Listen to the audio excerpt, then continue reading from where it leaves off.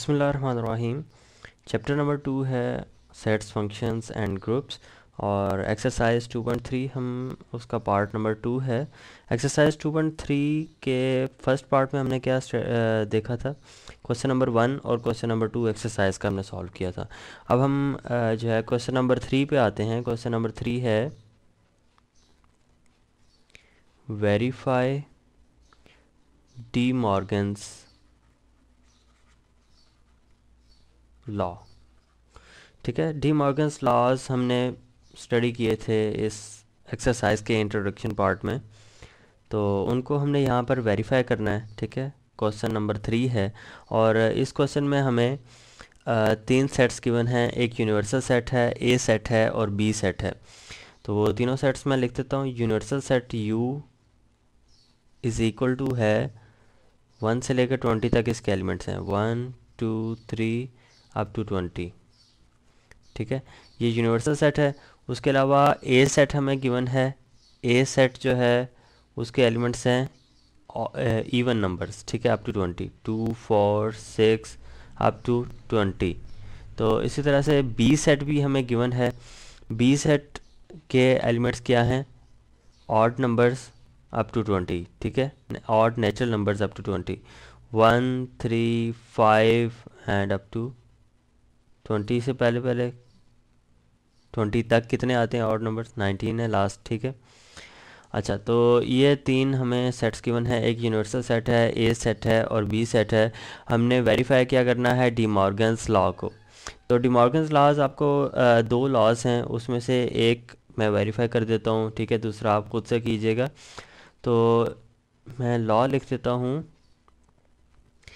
एक है A union B का whole complement is equal to होता है A complement intersection B complement तो दूसरा लॉ भी मैं लिख देता हूँ. ए इंटरसेक्शन बी का complement is equal to A complement union B complement होता है, ठीक है? तो ये दोनों लॉज हैं number one and number two तो इन दोनों को वेरीफाई करने के लिए हमें कहा गया है क्वेश्चन नंबर थ्री में, लेकिन यहाँ पर मैं एक जो है फ़र्स्ट वन सॉल्व कर देता हूँ, दूसरा आप खुद से ट्राई कीजिएगा।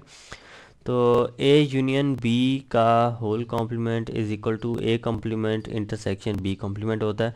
तो इसको किस तरह से वेरीफाई किया जाता है? किसी भी इक्वेशन को जिस तरह हमने पिछले लेक्चर में भी देखा कि प्रॉपर्टीज़ को हमने वेरीफाई किया था, ठीक है? तो किस तरह से किया जाता है? पहले लेफ़्ट हैंड साइड ली जाती है इक्वेशन की। लेफ़्ट हैंड साइड जो कि है ए यूनियन बी का होल कॉम्प्लीमेंट ठीक है?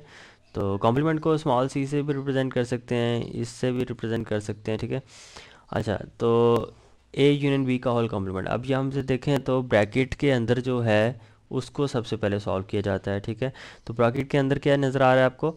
A union B A union B पहले फाइंड करेंगे। ए सेट में पहले लिख रहा हूँ, जो कि है one two three four up to twenty. और यूनियन हमने लेना है बी सेट के साथ। बल्कि ये तो यूनिवर्सल सेट मैंने लिख दिया।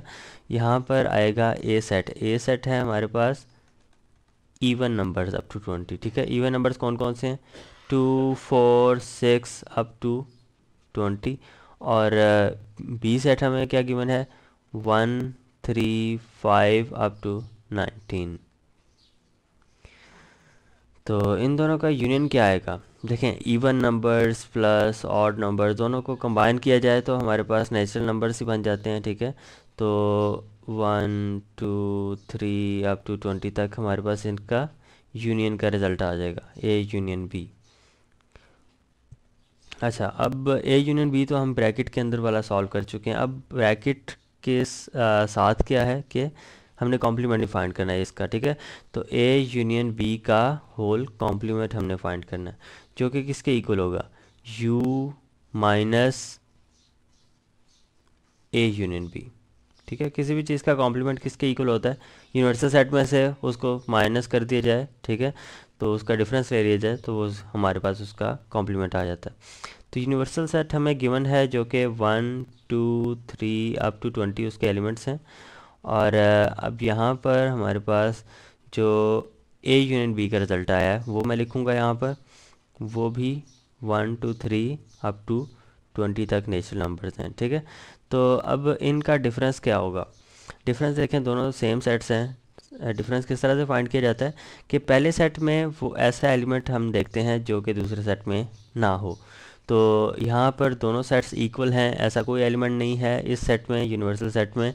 जो कि इस सेट में ना हो तो ये एम सेट या फाइव सेट इसको कहेंगे, ठीक है? इसका रिज़ल्ट आएगा। तो ए यूनिट बी का होल कॉम्प्लीमेंट जो कि लेफ़्ट हैंड साइड है, हमारे डिमॉर्गन्स लॉ की, ठीक है? तो उसका रिज़ल्ट आया है फाइव इसको मैं रिप्रेजेंट कर देता हूँ इक्वेशन वन से। अब हम आते हैं राइट हैंड साइड की तरफ़। Right hand side right hand side में क्या है? हमें गिवन है right hand side A intersection A complement intersection B complement A complement intersection B complement अच्छा यहाँ पर अब देखें आ, तो ब्रैकेट तो आपको नहीं नज़र आ रही स्टेप बाय स्टेप किस तरह से फाइंड हम कर सकते हैं? पहले ए कॉम्प्लीमेंट फाइंड कर लेते हैं फिर बी कॉम्प्लीमेंट और फिर उन दोनों सेट्स का इंटरसेक्शन फाइंड कर लेंगे, सही है? तो यहाँ पर ए कॉम्प्लीमेंट किसके इक्वल आएगा? यू माइनस ए के, ठीक है? तो यू सेट कौन सा है? वन से लेकर ट्वेंटी तक natural numbers minus A set A set हमारे पास क्या है? ए सेट हमारे पास इवन नंबर्स हैं. Two four six up to twenty तो इन दोनों का डिफरेंस क्या आएगा? ए कॉम्प्लीमेंट इक्वल आ जाएगा अब इसमें से नेचुरल नंबर में से इवन नंबर्स निकाल तो बाकी ऑड बच जाते हैं। तो ऑड हम लिख देते हैं one three five and up to nineteen ये हमारे पास आ चुका है ए कॉम्प्लीमेंट का रिज़ल्ट ठीक है? अब हम बी कॉम्प्लीमेंट फाइंड करते हैं। बी कॉम्प्लीमेंट किसके इक्वल होगा? B complement is equal to U minus B के इक्वल होगा। ठीक है? तो U minus B universal set one two three up to twenty minus B set B set क्या है हमारे पास? Odd numbers one three five up to nineteen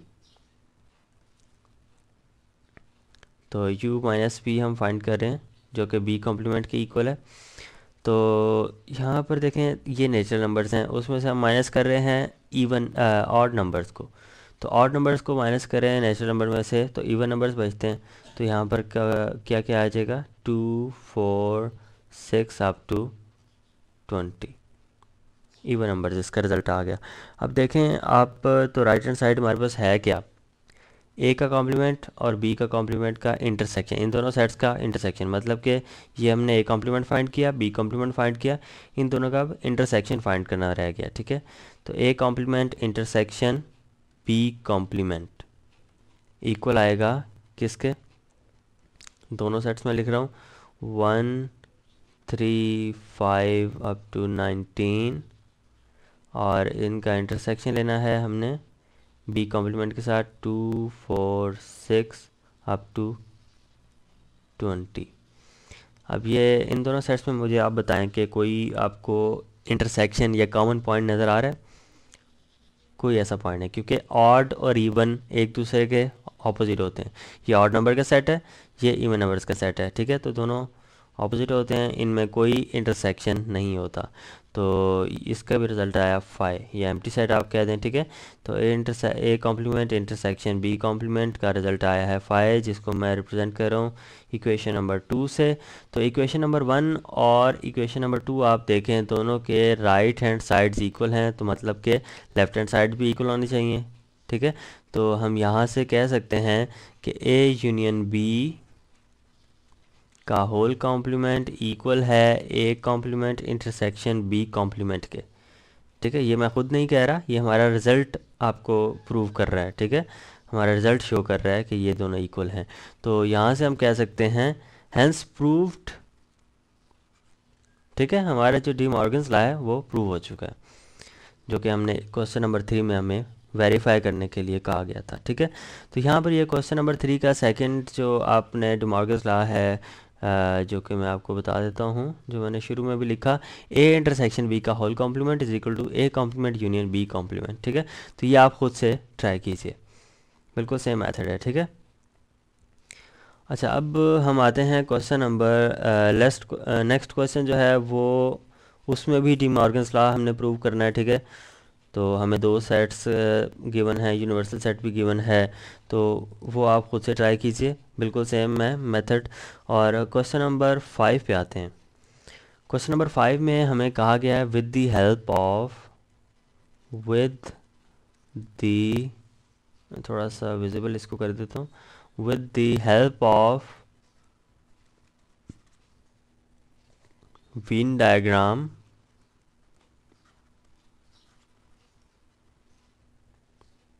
verify two distributive properties.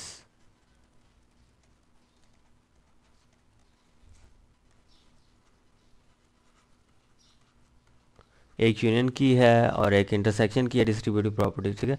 तो दोनों प्रॉपर्टीज़ वो कहता है कि वेरीफाई आपने करनी है वीन डायग्राम्स यूज़ करते हुए, ठीक है? तो हमें गिवन क्या है? इसमें पार्ट्स हमारे पास दो हैं, ठीक है? तो पहला पार्ट पे चलते हैं। पहला पार्ट में क्या है?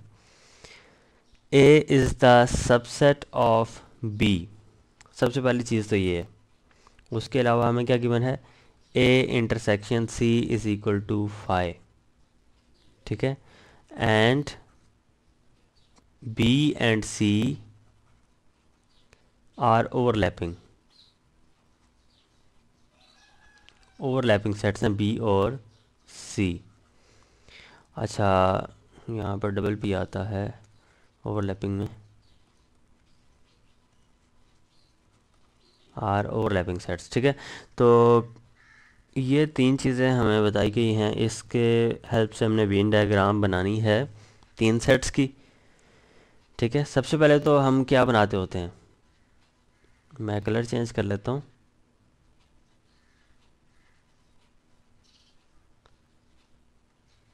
सबसे पहले हम यूनिवर्सल सेट बनाते हैं, ठीक है? यूनिवर्सल सेट एक पैरेललोग्राम या फिर सुकेर की मदद से आप कर सकते हैं, बल्कि इसको मैं ठीक से सुकेर बना देता हूँ।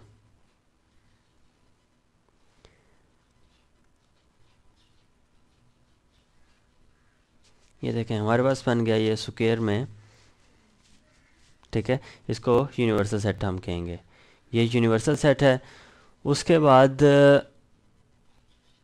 देखें, सबसे पहली चीज़ हमें क्या गिवन है कि A is the subset of B ये सारे तीनों सेट जो हैं ए बी सी इसी के अंडर लाई करेंगे, इसके अंदर आएँगे, ठीक है? तो क्या कन्फिग्रेशन बनेगी जी? A is the subset of B मतलब कि ए जो है, वो छोटा सेट है और बी बड़ा सेट है और ए बी के अंदर लाई कर रहा है, ठीक है? तो बी सेट मैंने बनाया, उसके अंदर ए सेट भी लाई कर रहा है। ये ए है और ये बी सेट है। उसके अलावा आप देखें तो उसने क्या कहा गया है? A intersection C is equal to phi मतलब कि ए और सी जो सेट है सी जो अभी मैंने बनाया नहीं है, उसके दरमियान इंटरसेक्शन नहीं है। फाइव का मतलब क्या है? एम सेट है, आपस में इंटरसेक्शन नहीं कर रहे वो ठीक है? तो ए और सी एक दूसरे से दूर होंगे। अच्छा उसके साथ साथ उसने कहा B and C are overlapping मतलब कि बी और सी का इंटरसेक्शन है। ठीक है? वो आपस में ओवरलैप कर रहे हैं। ए से दूर होगा, लेकिन बी के साथ ओवरलैप करेगा। तो इस तरह से कुछ ये कन्फिग्रेशन बनेगी ए बी और सी की। ये तो हमने बना दी कन्फिग्रेशन उसकी हेल्प से जो जो हमें गिवन था, ठीक है? यानी कि A is the subset of B हमें गिवन था। उसके हिसाब से हमने क्या किया कि ए को बी सेट के अंदर बना दिया, ठीक है? तो उसके अलावा ए इंटरसेक्शन सी में गिवन था जो कि फाइव की इक्वल है। उसका मतलब ये होता है कि ए और सी का इंटरसेक्शन नहीं है। किसी भी दो सेट्स का इंटरसेक्शन फाइव या एम्प्टी सेट कब आता है? जब उनमें कोई कॉमन एलिमेंट होता ही नहीं है। कॉमन एलिमेंट का क्या मतलब है?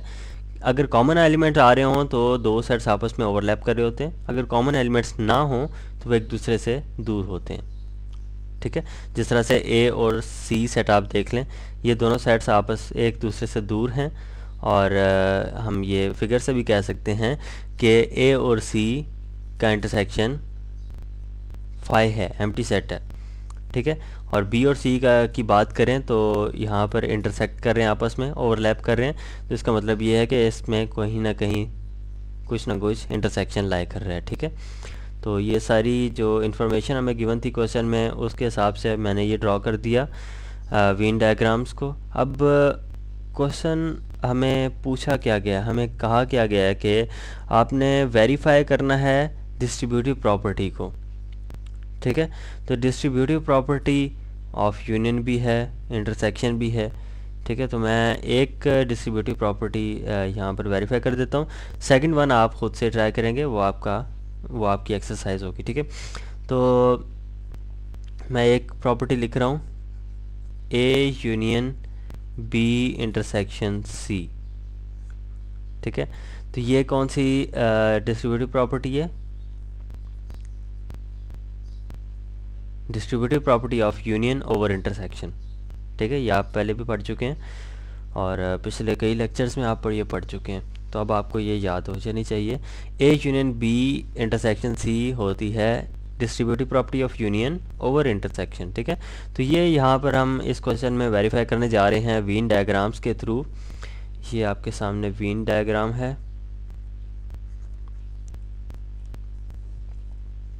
मैं थोड़ा डिफरेंट कलर सेलेक्ट कर लेता हूँ ताकि हमें समझने में आसानी हो, ठीक है? तो ये कलर मैंने ले लिया। अब सबसे पहले क्या है? अच्छा पहले तो है कि मैं डिस्ट्रीब्यूटिव प्रॉपर्टी को कंप्लीट करूँ। डिस्ट्रीब्यूटिव प्रॉपर्टी कंप्लीट तरह से लिखूं। A union B intersection C equal होता है ए यूनियन बी और ए यूनियन सी का इंटरसेक्शन इसके इक्वल होता है। हम पहले लेफ़्ट हैंड साइड को प्रूव करेंगे, ठीक है? लेफ़्ट हैंड साइड क्या आपको नज़र आ रही है?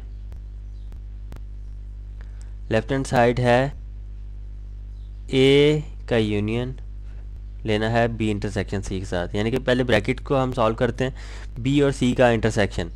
ये आपको बी सेट नज़र आ रहा है, ठीक है? और ये आपको सी सेट नज़र आ रहा है। इन दोनों का इंटरसेक्शन कहाँ पर आपको नज़र आ रहा है? कहाँ पर कॉमन है?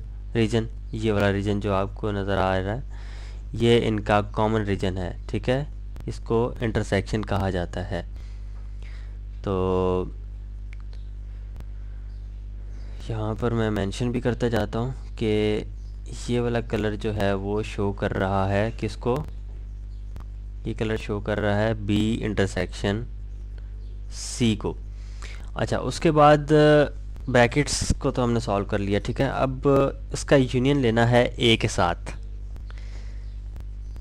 सेट ए भी उसमें बीच में आ जाएगा, ठीक है? तो मैं डिफरेंट कलर ले लेता हूँ। ये वाला कलर ले लेते हैं। उसका यूनियन हमने लेना है किसके साथ? ए के साथ। यानी कि ए सेट भी आ जाएगा और वो इंटरसेक्शन सेट भी आ जाएगा, ठीक है? तो ये मैं ए सेट को कलर कर रहा हूँ येलो से।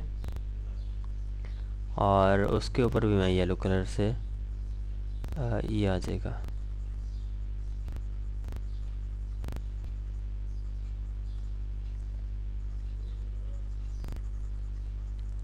अब आपको यूनियन नज़र आ जाएगा। ये टोटल रिज़ल्ट नज़र आ गया है। येलो कलर में जो जो आपको रीजन नज़र आ रहा है, वो लेफ़्ट हैंड साइड का रिज़ल्ट है, ठीक है? तो ये आपको नज़र आ जाएगा, ठीक है? तो इसको मैं साइड पे लिख भी देता हूँ। ये कलर शो कर रहा है। A union B intersection C को। ठीक है? ठीक तरह से अगर नहीं भी नज़र आ रहा तो मैं इसका कलर चेंज कर देता हूँ। ये येलो कलर जो है, वो शो कर रहा है A union B intersection C को, ठीक है? अच्छा ये तो हो गया लेफ़्ट हैंड साइड का रिज़ल्ट अब हम आते हैं राइट हैंड साइड के लिए। राइट हैंड साइड के लिए हमें दोबारा से जो है, वही फिगर बनानी पड़ेगी, ठीक है? कॉपी पेस्ट कर लेते हैं यहाँ पर, ताकि दोबारा से हमें बनानी ना पड़े। ये बन गया यूनिवर्सल सेट वही कन्फिग्रेशन होगी। ये यूनिवर्सल सेट हो गया, ये बी सेट था, ठीक है? इसको थोड़ा सा, मैं सर्कल में कर लेता हूँ।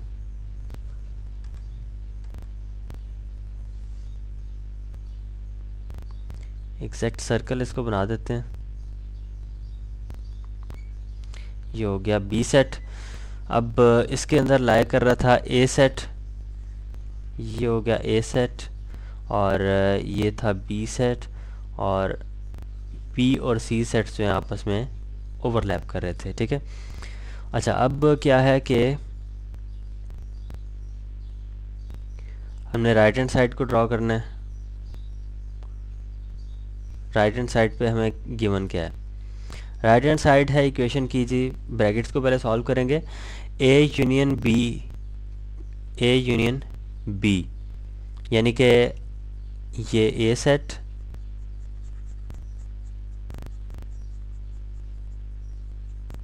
ये ए सेट आ गया। इसका यूनियन हमने लेना है बी के साथ। मतलब कि ए सेट भी आ जाएगा और बी सेट भी आ जाएगा। तो ये कम्प्लीटली इसको मैं कलर कर देता हूँ। शेड कर देता हूँ। ये सारा का सारा रिज़ल्ट है ए यूनियन बी का। अच्छा ये तो हो गया ए यूनियन बी अब है ए यूनियन सी ए का यूनियन हमने लेना है सी के साथ। डिफरेंट कलर से लेते हैं ताकि मिक्सअप ना हो।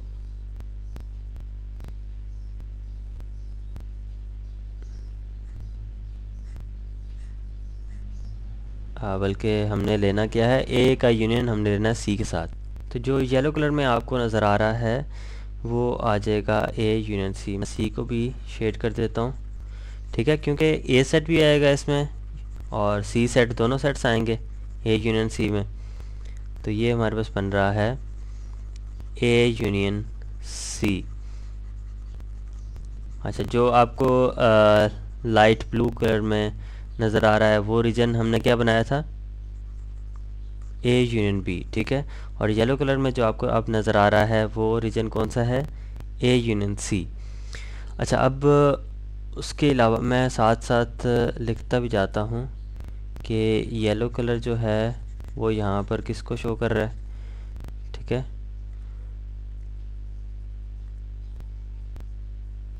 ये देखें, ये येलो कलर जो है ए यूनियन सी को मैंने शो कर दिया और जो लाइट ब्लू कलर है वो ए यूनियन बी को शो कर रहा है। अब आप देखें, हमारे पास जो राइट हैंड साइड है इक्वेशन की, वो है ए यूनियन बी और ए यूनियन सी का इंटरसेक्शन ठीक है? तो अब इन दोनों में इंटरसेक्शन कॉमन रीजन कौन सा आ रहा है? जहाँ पर येलो कलर भी है और लाइट ब्लू कलर भी है, दोनों मिक्स हो रहे हैं, वो कॉमन रीजन है, ठीक है? तो कौन सा रीजन बनता है? ये देखें, ये वाला रीजन जो है, मैं रेड से अब शो कर देता हूँ इसको। यहाँ पर मिक्सअप हो रहे हैं कलर्स ठीक है, दोनों। तो ये कॉमन रीजन बनता है। उसके अलावा कौन सा है? यहाँ पर भी मिक्सअप हो रहे हैं ए सेट ठीक है। तो ये सारा का सारा। ए सेट भी आ जाएगा और इन दोनों का इंटरसेक्शन पॉइंट भी आ जाएगा। तो जो रेड कलर से मैंने शो कर दिया रीजन वो क्या है? वो इन दोनों का इंटरसेक्शन है। तो ये हमने राइट हैंड साइड को लिखा ए यूनियन बी का इंटरसेक्शन ए यूनियन सी के साथ। अब ये है राइट हैंड साइड और आप लेफ़्ट हैंड साइड का रिज़ल्ट भी देखें। राइट हैंड साइड का रिज़ल्ट ये है आ, ये लेफ़्ट हैंड साइड का रिज़ल्ट है और नीचे हमने राइट हैंड साइड का रिज़ल्ट लिया ठीक है? दोनों बिल्कुल सेम है। आप कॉमन रीजन अगर देखें ना तो कॉमन रीजन इसमें क्या आ रहा है? ए सेट है और साथ में ये ओवरलैपिंग जहाँ पर हो रही है, ठीक है? बी और सी की। और इसमें क्या है? यहाँ पर भी ए सेट है और उसके साथ जो बी और सी की ओवरलैपिंग जहाँ पर हो रही है, वो सेट टोटल बनता है, ठीक है? तो ये रिज़ल्ट है इसका। तो यहाँ से वीन डायग्राम से भी हम ये शो कर चुके हैं, ठीक है? Distributive property of union over intersection prove कर चुके हैं। जो कि है A union B intersection C is equal to होता है ए यूनियन बी का इंटरसेक्शन ए यूनियन सी के साथ, ठीक है? तो यहाँ पर हम इस लेक्चर को एंड करेंगे। बाकी जो क्वेश्चंस हैं बिल्कुल सेम हैं सेम कॉन्सेप्ट्स यूज़ होते हैं यहाँ पर। तो आप वो खुद से सॉल्व कर सकते हैं। इसका जो सेकंड टी मॉर्गन्स ला आप प्रूव कर सकते हैं, ठीक है? तो यहाँ पर इस लेक्चर को ख़त्म करते हैं।